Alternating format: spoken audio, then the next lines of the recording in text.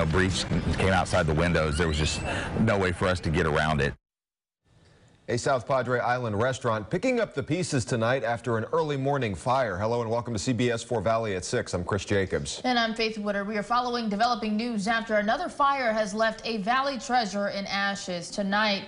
Flames destroyed Pier 19 on South Padre Island. Take a look at what's left. Firefighters tell us they got the call just after 1 this morning. Officials say the flames burst through windows, making it hard to tame. Several agencies responded to the fire, including Los Fresnos, Laguna Madre, Port Isabel, and the Coast Guard.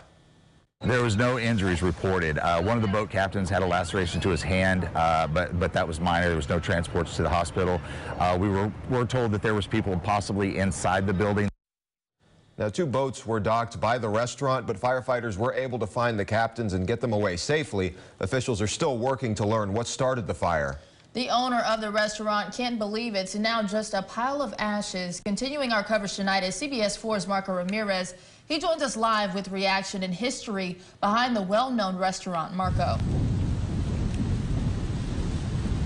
Well, Chris and Faith, the owner tells me Pier 19 was actually a fishing pier before becoming a restaurant. As you can see behind me, the fire is actually reignited at this hour, and people who came to this popular restaurant say they are devastated.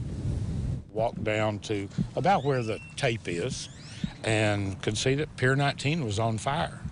Rob Goff and his wife Pam live in the RV park right next door to Pier 19 and saw their beloved restaurant go up in flames. But it wasn't just the building they were devastated about. But I'll tell you, the second thing I really thought about is how many people worked there and didn't have a place to go to work today. That's that's another sad part. That's of a tragedy. Really is, yeah. That's a tragedy. Because that's going to hurt some families. Owner Scott Freeman says before becoming a restaurant in 2007, the facility was a fishing pier in the early 1990s. Despite this loss, Freeman says the community has shown up to help. Uh, we've been fortunate uh, to have a lot of friends that we've made through the years.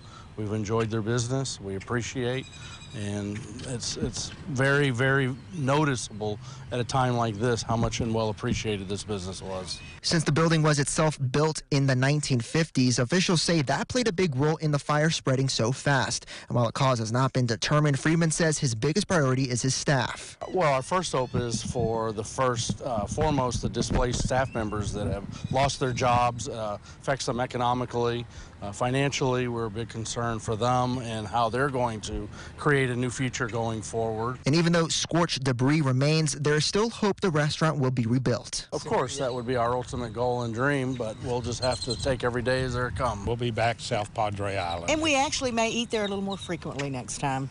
Just to appreciate and, yeah. and tip and tip a little better.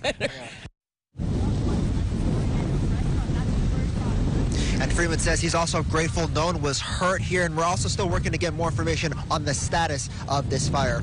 Working for you on South Padre Island tonight, I'm Mark Ramirez.